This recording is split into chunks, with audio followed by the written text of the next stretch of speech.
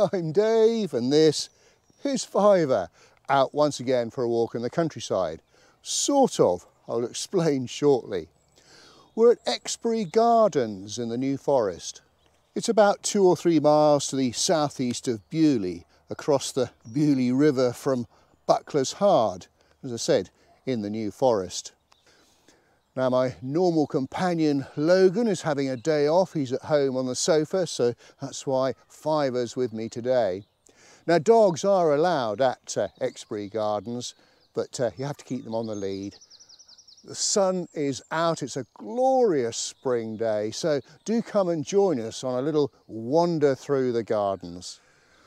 Well, Exbury Gardens is a 200 acre informal woodland garden with large collections of rhododendrons, azaleas and camellias, often considered the finest garden of its kind in the UK.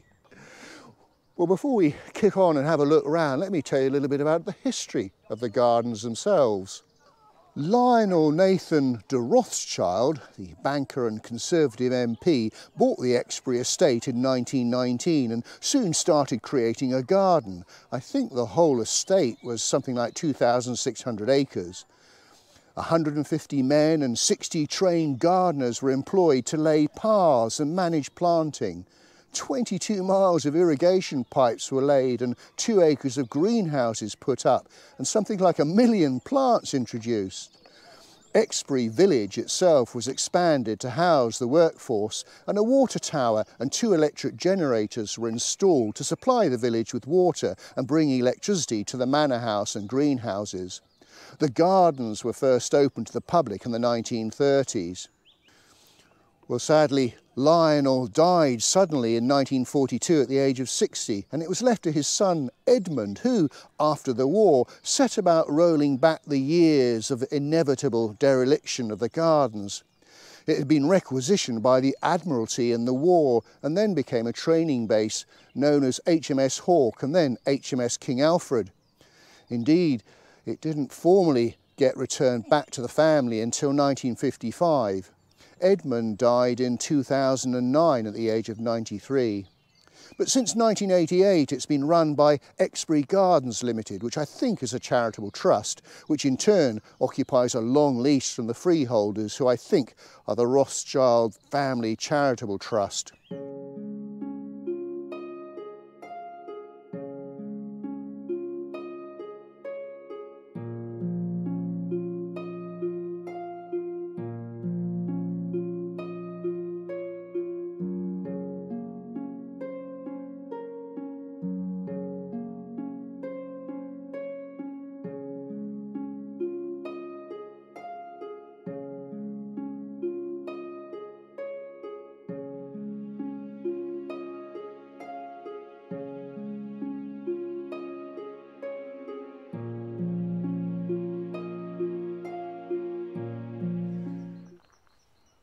Looks like we're going through the rock garden here.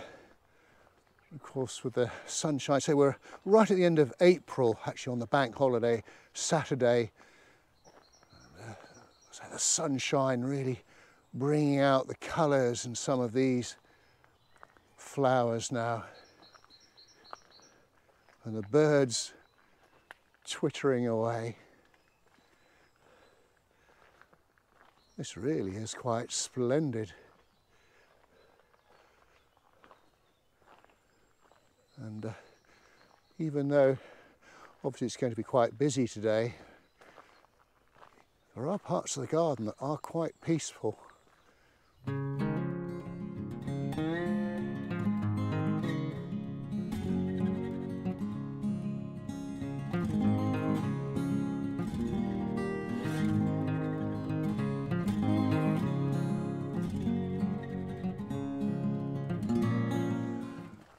You, there are so many little nooks and crannies. Lovely, you feel as though you're exploring some nice little shaded areas as well.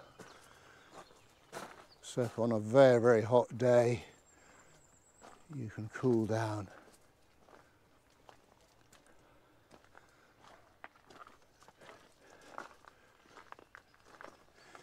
And uh, loads of easy access paths as well. So no mud. right, so we've got a choice here. We can go to the right on the easy route. And I'm guessing that on the left is the hard route. Should we do the hard route, uh, Fiver? it doesn't look too bad. Pull your old dad up. Up we go. Now my knee's going to regret this. That wasn't too bad. A nice little bench to look back. Oh, look, the bees are out enjoying these flowers, that's for sure.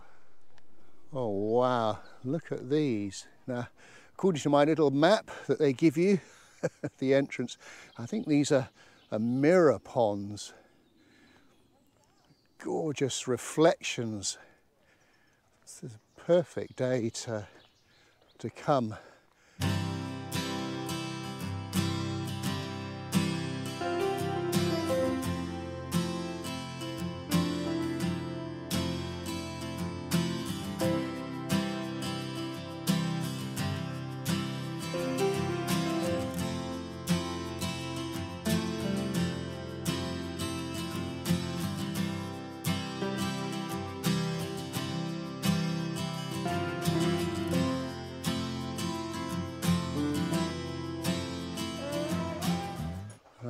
to be careful here. We can't cross over the little railway line just yet because I can hear a little steam engine coming. We're going to be having a go on this later on. We've got tickets for it. Ooh! and here it comes.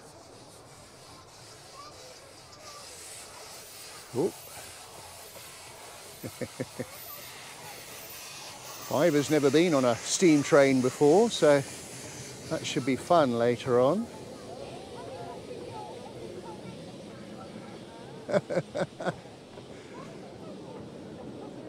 the rhododendron line. well, just a little bit more of the railway track there. Exbury North.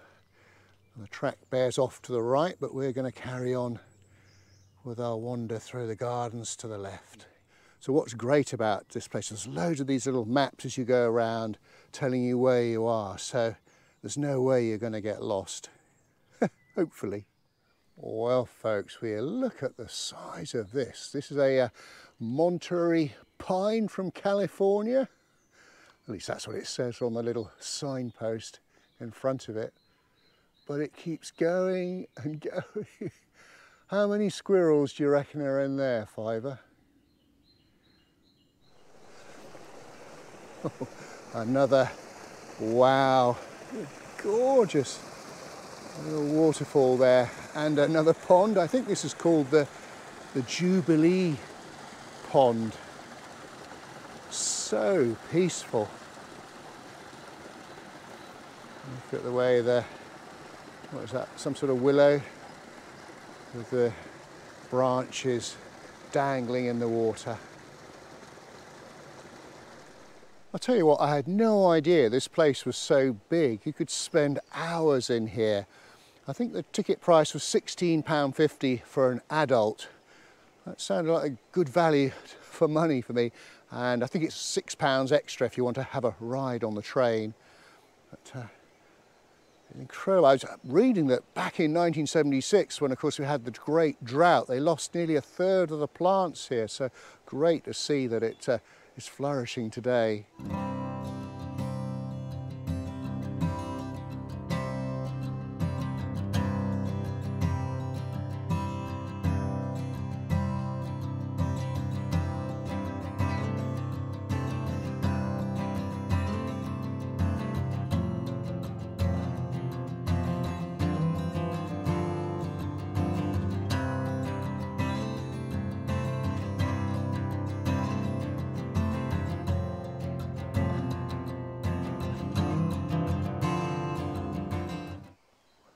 Another pit stop for another one of these ponds a bit of uh, sort of green foliage in the water itself, but I just love the, the shadows that you get from the trees on the water.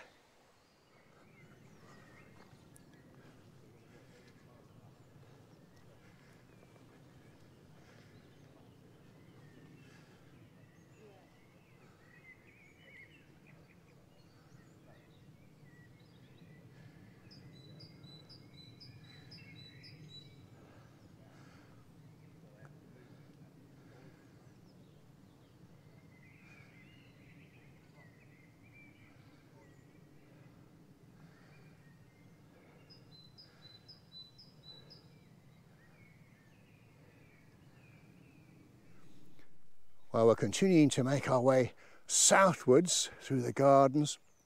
Another quite delightful pond. This one looks like it's full of water lilies. But the landscaping around here is uh, really is quite splendid.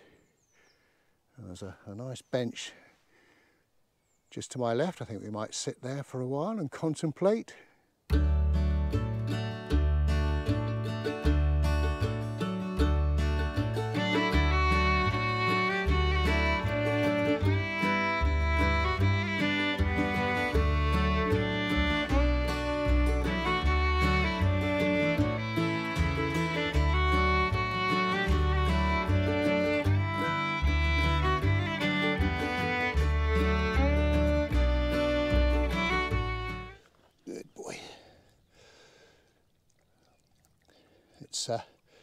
One of those days when I'm glad we brought some water with us.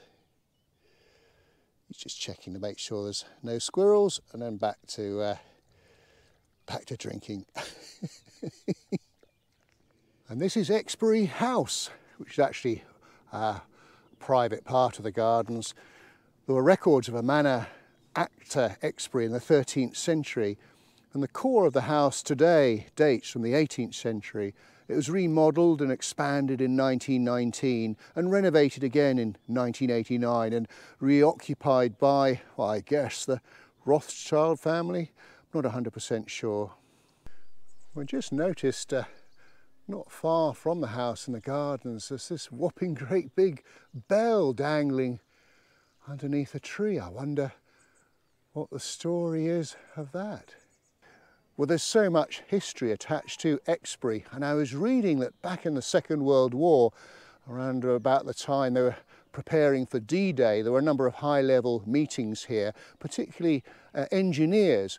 Uh, they were trying to come up with plans for building the temporary mulberry harbours that were used on the north coast of France. And they had a lot of their meetings outside in the gardens, and they were trying to come up with an idea for the name of the plan. And as they were sitting underneath a mulberry tree, one chap piped up and said, well, why don't we call them mulberry harbours? now, whether it's a true story, I don't know, but certainly that's the legend.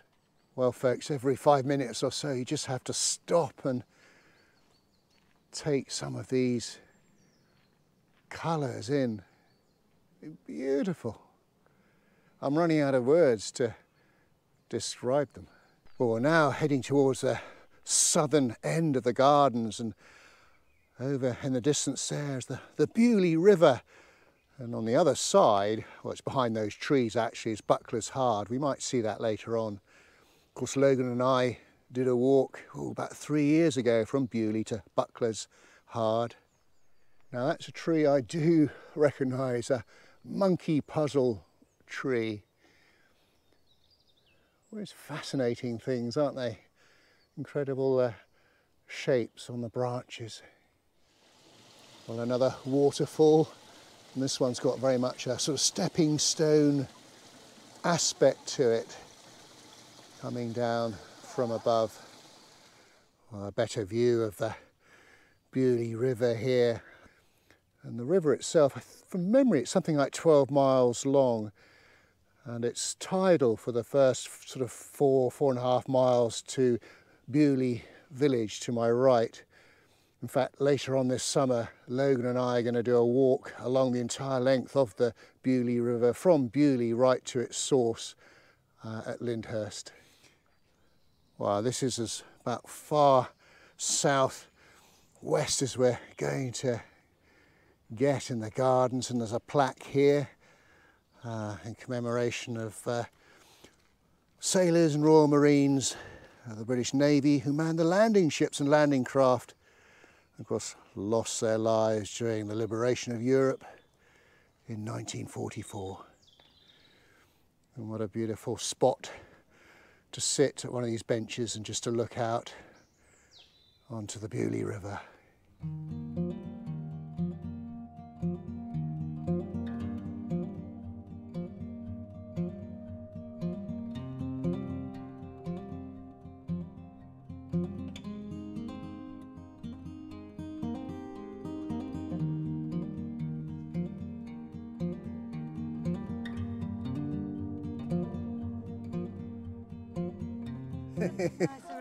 Yes, they all seem to a bunch of sight hounds.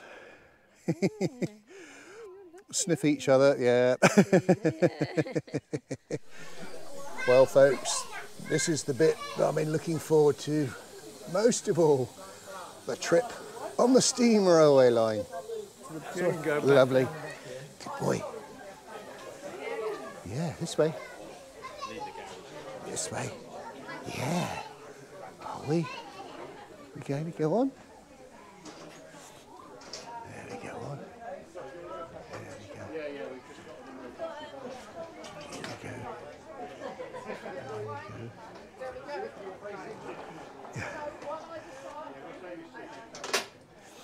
Put in one with the doors. Oh, lovely. we got our special one there. Oh, well done. Thank you very much. Okay, Right, okay. Here we go. Good boy. Hup. I'll go first then. Oh, on, Fiver. Good boy. Ah, there we go. Gonna check your carriage. Is it uh, suitable for you, sir? You're going to get a good view from here. it's your first time on a steam train. What do you reckon?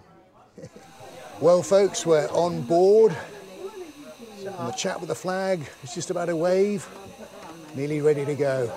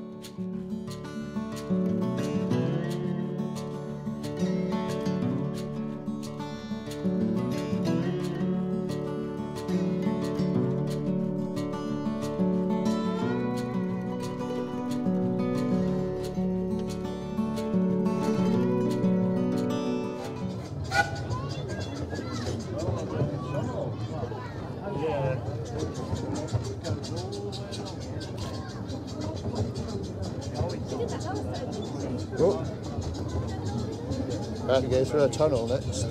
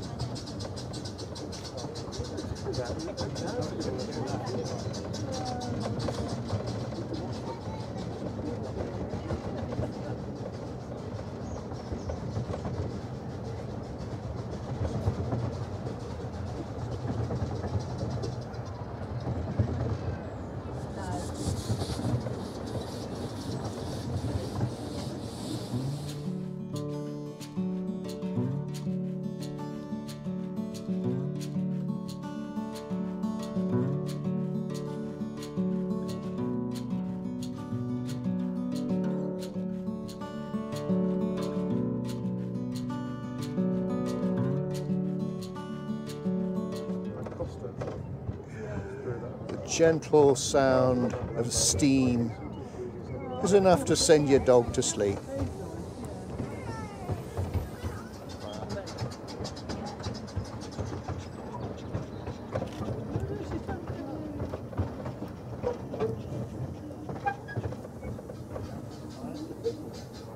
Good boy. Here we go.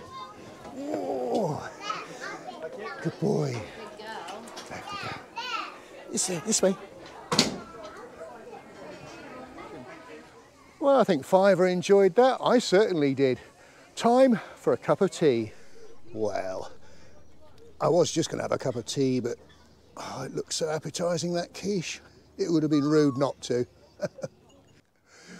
Well, folks, we've come to the end of our walk. We hope you enjoyed it. If you did, please do give us a thumbs up and a like and do leave a comment. And do check out our Facebook page, Dave's Countryside Walks. So until we meet again, thanks for watching and cheerio.